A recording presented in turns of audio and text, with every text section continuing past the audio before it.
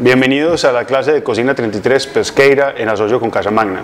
Mi nombre es Santiago Izaza, eh, soy un cocinero profesional apasionado desde prácticamente desde mis 10 años. Estoy cocinando, primero me dediqué a las finanzas, eh, después no pude, no pude abandonar la pasión y me formé como cocinero en Estados Unidos. Hoy estoy eh, manejando una pescadería, se llama Pesqueira eh, donde podrán encontrar prácticamente todos los productos que hoy vamos a preparar. Em, hoy vamos a preparar un ceviche de tilapia, camarones, al coco, limón y mango. Em, aquí como pueden ver tenemos algunos de los ingredientes frescos, otros están crudos y otros precocidos. Eh, tenemos aquí tilapia. Tilapia es un pescado de río. Esta tilapia es nacional, proviene de la laguna de Betania.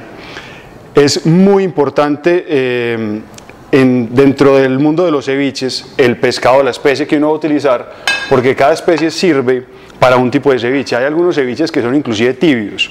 Este ceviche es con pescado totalmente crudo. Ni siquiera me gusta dejarlo mucho tiempo en el limón porque lo cocina muchísimo. Hay muchos mitos frente a qué hace el limón en un pescado, qué hace el limón en la carne de un pescado. Realmente el limón es un ácido que una vez entra en contacto con la piel, con la carne del pescado, eh, empieza a quemar la carne. Es un proceso de desnaturalización.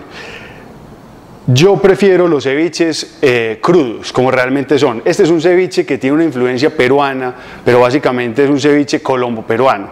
Eh, como les estaba contando, la tilapia es un pescado de río y la única la única cualidad que me gusta resaltar de la tilapia para un ceviche es que es un pescado firme, muy suave de sabor y no le aporta ese sabor a bacalao que tienen algunos pescados de mar. Eh, por eso pues es, un producto bastante noble para los, para los ceviches. Voy a empezar con la fabricación del pescado. Santiago, eh, nos preguntan de Argentina, Carlos, eh, es ver, ¿Qué otros pescados pueden usar para este tipo de ceviches? Realmente en, el mundo de los ceviches no está nada escrito. Eh, inclusive em, a mí me gusta utilizar pescados que no son comerciales para los ceviches porque eh, prácticamente no se usan, es por desconocimiento del público. Uno puede utilizar cualquier pescado blanco para un ceviche de esta preparación. ¿Por qué? No porque no se pueda utilizar un pescado de carne azul o carne negra, por ejemplo, como el atún eh, o como el jurel, sino que teñiría, teñiría la preparación y no es tan eh, apetitoso para la vista. Pero realmente se puede utilizar cualquier pescado, cualquier pescado que sea tierno y que no le aporte tanto sabor. Por ejemplo, se puede utilizar una sierra guajú, se puede utilizar eh, un pargo, queda muy bueno con el pargo. Inclusive, para mí, el mejor ceviche es el de pargo rojo y el de sierra sino que no son pescados que uno utiliza eh, para un ceviche porque sabe mucho pescado. Y aquí yo no entiendo una cosa, no he podido entender, hay muchas personas que les gusta comer pescado y les gusta comer ceviche, pero que no sepa pescado. Esa es de las cosas que más me, me dicen a mí. Dame un ceviche de pescado que no sepa pescado. Y realmente es por desconocimiento que la gente pide eso. O sea que respondiéndote, cualquier pescado sirve y los pescados de carne negra o carne azul, como se llama técnicamente, eh, servirían, pero le daría un, color un poco extraño a la preparación. Aquí lo que estoy haciendo, necesito que se acerquen para ver esta parte que es la más importante en un ceviche y es que le voy a separar la carne blanca de la avena. La avena solamente es un lugar donde pasa eh, mayor flujo sanguíneo. Lo único que voy a hacer es quitarla, removerla, sin misterio alguno es la única merma que puede tener. Esta es una carne un poco más, em, eh, con un contenido un poco más de hemoglobina y eso hace que el pescado quede un poquito más sabedor. Estas partecitas a mí también me gustan removerlas, pero básicamente es un tema de presentación. Después, ¿cuál es el, el corte óptimo para un ceviche? Hay gente que le gusta los trozos grandes, hay gente que le gusta los trozos pequeños. A mí personalmente me gusta los trozos medianos. ¿Por qué? Porque no deja que el limón lo cocine tanto, pero además sabe a pescado, que es lo que deseamos. Entonces, trozos de qué tamaño? Básicamente estamos hablando de 2 centímetros. 2 centímetros, dados de 2 centímetros. Aquí tenemos el lomo del animal. Vamos a hacer dos ceviches. Uno para mí y otro para los camarógrafos. Eh, mientras eh, sigo toda la preparación del ceviche, lo que vamos a hacer acá es cocinar un poco, repito, un poco, el pescado en el limón. Hay otra cosa muy importante que tienen que saber de pescados y es que uno trata, trata en la, en la medida de lo posible no serruchar. Esto eh, es una técnica muy importante, sobre todo en pescados de mar, porque queda la carne como eh, despelucada. La carne despelucada no es ni 5 de bonita, es igual de sabrosa, pero no es ni 5 de bonita. Entonces, a la hora de, cortar un pescado, lo que tienen que darse cuenta es para dónde va la fibra. Entonces, por ejemplo, les voy a hacer el ejemplo con este. La fibra, vemos la fibra que está longitudinal, pero prácticamente, mejor dicho, yo creo que alcanzan a apreciar la fibra acá. Casi que igual a la carne, se corta contra la fibra y lo importante es en un solo sentido, no se devuelve, solamente en un solo sentido. Entonces, la fibra como vimos está, para, está subiendo. Yo lo que voy a hacer es que la voy a hacer bajando y solamente un movimiento, no me devuelvo. Eso es lo más importante. Santiago, de Venezuela, Valeria nos pregunta cómo se sabe que el pescado está fresco y si es seguro consumirlo. Ok, Valeria, mira, realmente reconocer un pescado fresco en filete es difícil. Eh, hay, muchos, hay muchos síntomas de que el pescado está fresco. Pero en filete queda más difícil. ¿Por qué? Porque ya uno no le puede hacer un examen a las agallas, no le puede hacer un examen a, los ojos, no le puede hacer un examen a las escamas, no le puede hacer un examen eh, a la piel del pescado. Entonces cuando está el pescado ya en filete, hay dos síntomas que uno sí los tiene que prácticamente examinar inmediatamente. Uno, el olor. Un pescado, mientras más fresco, huele a mar, huele al océano. ¿Eso, ¿Eso qué es? Huele fresco. No puede oler ni a pescado, no puede oler ni a bacalao, no puede oler a nevera, no puede oler a refrigeración. Y el otro es que el pescado esté firme. Cuando el pescado esté firme, significa que eh, no ha estado en refrigeración tanto tiempo y tampoco ha estado refrigerado, congelado y otra vez vuelto a refrigerar, que eso es prácticamente un, pues es un sacrificio, pues eso es, eso es un pecado hacérselo a un pescado, descongelarlo y congelarlo y otra vez vuelva y juegue. Entonces, básicamente en filete esos son los dos síntomas, el olor y la textura. Cuando el pescado está entero, ya hay muchos, ya hay muchos. Los más importantes son los ojos saltones. Los ojos tienen que estar abutagados, tienen que estar hinchados.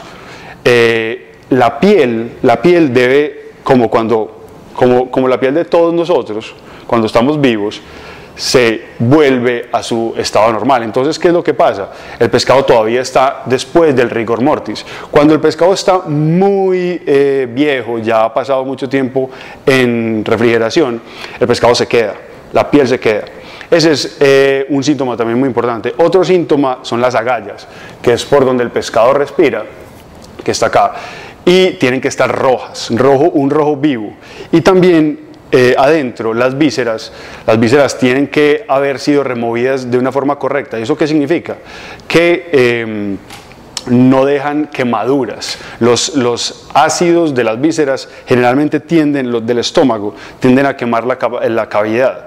Entonces esa es la parte más importante de la parte de adentro. Y la última, la última es más difícil todavía porque uno en un supermercado, en, una tienda, en una pescadería, generalmente no los encuentra con escamas. Pero si las escamas todavía están en el pescado, si están fáciles de remover, es que, es que el pescado está muy viejo. Eh, si están duras, si este, todavía están firmes, pegadas al animal, eh, lo mismo que las aletas, el pescado todavía está fresco. Esa prácticamente es la guía rápida para reconocer el pescado fresco para Valeria. Mientras, mientras, estamos, eh, mientras sigo con el resto de la preparación, voy a empezar a cocinar el pescado en limón. No me gusta utilizar tampoco muy, mucho limón, ni tampoco me gusta utilizar mucho eh, un limón, el limón pequeño, que es el limón que nosotros en Colombia conocemos como limón común. Este es un limón que en Colombia reconocemos como el Tahití. Es un limón un poco más dulce y no es tan ácido. Entonces, este limón, hay dos formas, hay dos, hay una, prácticamente es eh, un mito, no un mito pues porque realmente sí, sí, es, sí es cierto, pero en Perú nunca utilizan esto y no exprimen más de acá, eh, porque muchas veces la cáscara, sobre todo la piel, eh, hace que la preparación se vuelva un poco amarga, pero realmente el amargo que le, que le imprime un limón a un pescado es muy poco. Entonces, por facilidad, yo les recomiendo que sigan utilizando el exprimidor, no le veo ningún problema, eh, rinde más y, es más importante eso pues a la hora de la economía de, del hogar o del restaurante en donde estén trabajando. Otro ingrediente para el ceviche son los camarones. Estos camarones son crudos, pelados y de venados. De venados básicamente es que no tienen el sistema digestivo pegado y adicionalmente la cáscara ha sido removida. Yo siempre, siempre recomiendo un camarón crudo, porque un camarón precocido básicamente sabe, sabe a nada. Y al mismo tiempo la textura cambia mucho. La textura de un camarón crudo es em, todavía una textura que, que, le recuerda a uno estar en el mar. Un camarón precocido es prácticamente un camarón enlatado. O sea que no acepten nunca un camarón precocido, odienlo como yo con todas mis fuerzas el camarón precocido y siempre procuren un marisco totalmente crudo. Aquí lo que vamos a hacer es un proceso que se llama el blanqueo. El blanqueo lo vamos a hacer a dos, a dos de nuestros ingredientes, al camarón y al calamar. ¿El blanqueo qué es? El blanqueo es pasar por agua hirviendo con un poco de sal, las proteínas, algunos vegetales, algunas hojas, eh, hierbas. Lo que, lo que hace con las hierbas, con las hojas, es realzar el sabor del el color y las vuelve más verdes o las vuelve más rojas. Con los, eh, con los mariscos lo que hace es los vuelve también rojas por un proceso químico, pero al mismo tiempo le da cierta cocción y la sal les fija el sabor. Entonces tenemos agua hirviendo, le vamos a echar algo de sal, no mucha, Básicamente es para fijar el sabor. ¿Y cuánto va a durar el camarón y el calamar en el agua hirviendo? Básicamente hasta que cambie de color. Hay gente que dice, no, eh, puede durar unos 10 segundos, eh, puede durar 30 eh, segundos, dice prácticamente todos los libros de texto. Yo sinceramente nunca cuento, nunca mido, eh, me parece que uno sí puede medir, uno sí puede contar, pero en la cocina es más sentir. En la cocina, cuando uno se dedica a esto, eh, uno empieza a sentir los ingredientes y cuando uno los siente, uno ya sabe cuándo están y cuándo no. Básicamente lo mismo me pasa en el horno. Yo muy poquitas veces cuento cuántos minutos están las cosas en el horno. Acá eh, nos ayuda mucho el color para eso. Cuando los calamares cambian de color, los em, camarones cambian de color, ya está prácticamente. Apagamos este horno tecnológico y los vamos a colar.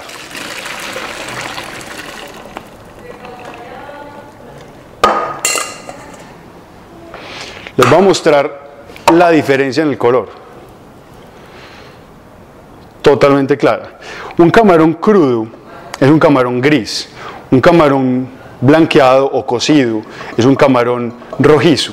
Es un, camarón, que adicionalmente tiene un poquito más de textura. Este camarón ya no tiene tanta textura, que es el crudo.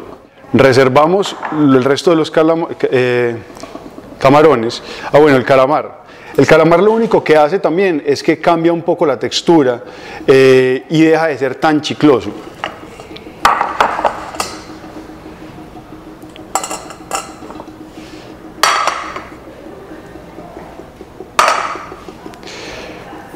Ya en este momento, cuchara. Necesito una cuchara. La encontré. En este momento, antes de pasar a comerciales, lo único que yo voy a hacer es sazonar esto y añadirle un poco de glutamato monosódico o aginomoto. El aginomoto es un realzador del sabor. Se puede utilizar en varias cocinas en el mundo, en la comida china, en la comida asiática, en el sudeste asiático, en Perú sobre todo, se utiliza mucho. En Colombia, en el norte de, de, Sudamérica no se utiliza casi. La gente le tiene un poco de miedo, pero es un alimento totalmente saludable. Está, está catalogado de acuerdo a todas las estándares del mundo como un alimento sano. Un poco de aginomoto, un poco de sal un poco de pimienta.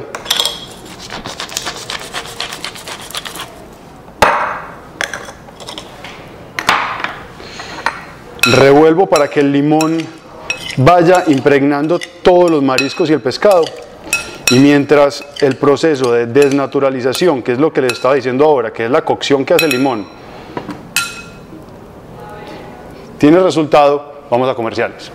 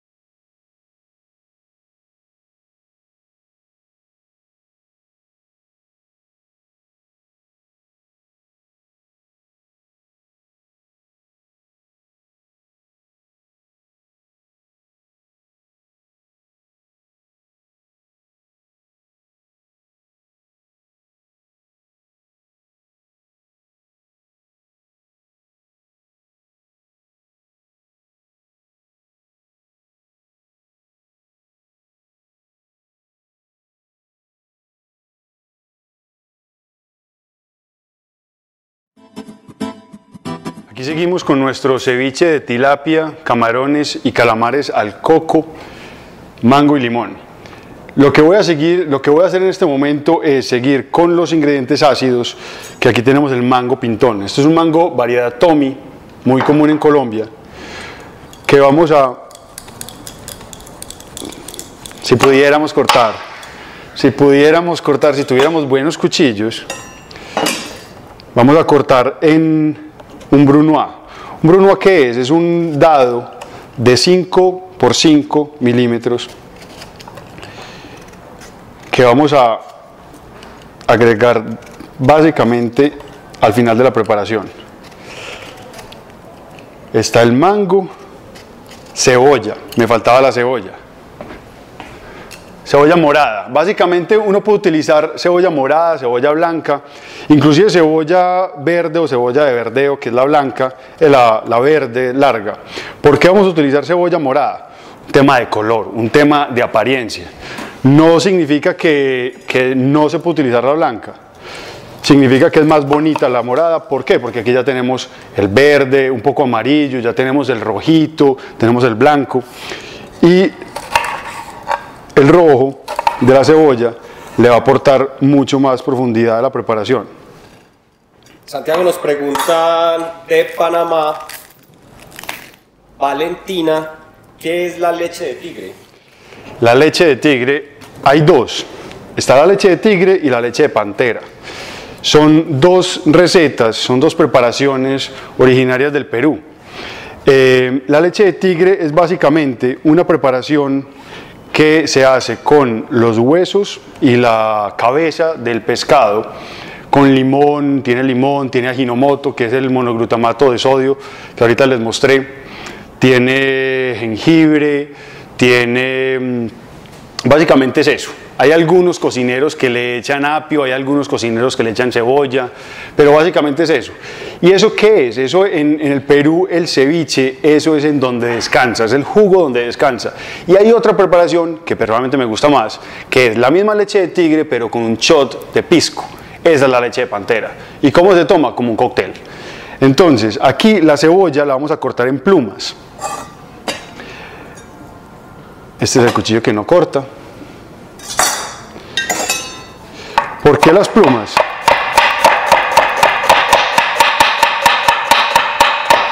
¿Por qué las plumas? porque también tienen más estética que si las partiéramos en, cubitos. Si, si partimos la cebolla en cubitos se pierde. Entonces la idea es que resalte al final en el plato las plumas de cebolla. Seguimos con el mango. El mango, como les dije, lo vamos a picar en brunoise. Brunoise es la preparación, es, un clásico corte francés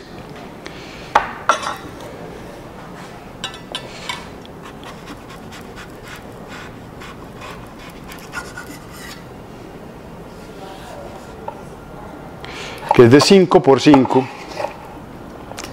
la verdad es que no lo voy a hacer tan, tan estricto. Por dos cosas. La primera porque me da una pereza horrible. Y la segunda porque esos cuchillos están horribles. Horribles. Entonces, vamos a hacerlo un poco más grosero en aras de la facilidad.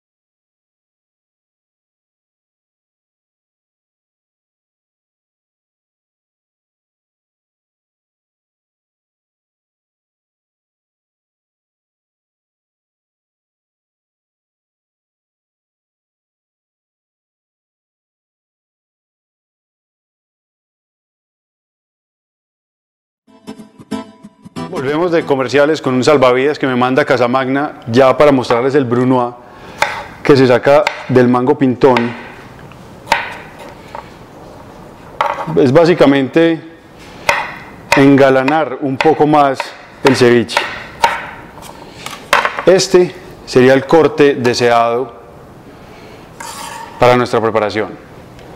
Ya en este momento solamente nos resta aderezar el ceviche. ¿Con qué lo vamos a aderezar? Hay algunos em, ingredientes que tenemos acá que no son tan comunes en la comida colombiana, que son el aceite de ajonjolí y la salsa soya. Esa salsa soya, además de realzarle el sabor a los mariscos, va a darle un poco de sal. sal eh, aceite de ajonjolí. El aceite de ajonjolí se tiene que usar en muy pocas cantidades, porque el aceite de ajonjolí, además de ser muy fuerte, le roba el sabor a prácticamente todos los ingredientes que lo acompañan. Entonces, un chorro de aceite de ajonjolí, un chorro bastante generoso de salsa soya. Prefiero salar mis condimentos, eh, mis comidas con salsa soya en vez de con sal directa. Tabasco. El tabasco sí es opcional. Sinceramente, para mí un ceviche bueno si no está un poquito picoso, no es un buen ceviche. Yo prefiero un ceviche que tenga carácter, que pique, que, que caliente. Y algo de pimienta. La pimienta, les digo, como el tabasco, sí son totalmente opcionales. Aquí también la sal. La sal, aunque uno utilice salsa soya, como utilicé buena cantidad de salsa soya, bajo la cantidad de sal. Inclusive también dentro del mundo de las salsas soyas hay con sodio y sin sodio. Esta es una salsa soya baja en sodio. Generalmente tienen tapa verde eh, en los supermercados las salsas soyas que, no tienen, que tienen bajo contenido de sodio. Y finalmente voy a terminar la preparación con leche de coco. Dentro del mundo de las leches de coco también hay muchas leches. La diferencia es en la grasa que tengan. Esta salsa, esta leche de coco, ¿Cómo sabe uno que tiene mucha grasa? Porque deja el camino, deja el camino e inmediatamente al probarla uno se da cuenta que es una eh, crema, es una crema untuosa a pesar de ser eh, leche de coco. La que viene en bolsa tiene mucha agua. También la pueden utilizar, pero inmediatamente les recomendaré usar una leche de coco enlatada porque cambia totalmente. ¿Cuánta leche de coco? Que tampoco se vuelva una sopa esta preparación, que no se vuelva eh, una sopa de coco ni un curry, sino un, aroma a coco, porque también el coco es muy invasivo, lo mismo que el aceite de ajonjolí. Ya en este momento solamente nos resta eh, revolver esta preparación y emplatar. Se dan cuenta que si le hubiera echado más leche de coco, esto hubiera quedado prácticamente una, una sopa espesa y blanca y cremosa, que tampoco es agradable, porque siempre que uno está esperando un ceviche, uno está esperando una preparación ligera, algo saludable y no cremosa y pesada. El emplate. El emplate de los ceviches sigue prácticamente todas las normas del emplate eh, de cualquier preparación. Mientras más alto, van a quedar mejor, va a ser más elegante. Eso es algo indiscutible. Un plato plano es aburrido, un plato plano no, carece como de, de, elegancia. Entonces yo lo que siempre les recomiendo es altura. Altura, ¿cómo se logra? Con platos pandos antes de los platos hondos. Y al mismo tiempo cuando lo estén sirviendo, sírvanlo para arriba. Eso para mí es totalmente importante. Aquí vamos a proceder con... ¿Por qué le pones los hielos, Santiago? Esta, esta es una técnica, realmente no es necesaria, no es necesaria, es, es una técnica que usamos algunos cocineros y es sumergir las hojas de lechuga o cualquier tipo de hoja en, agua con hielo. Tiene que ser agua con hielo, no puede ser hielo solamente. ¿Por qué? Porque las, les devuelve la frescura, les devuelve la frescura y el verdor. Entonces queda más crocante y, da la sensación de estar comiéndose una lechuga recién cultivada.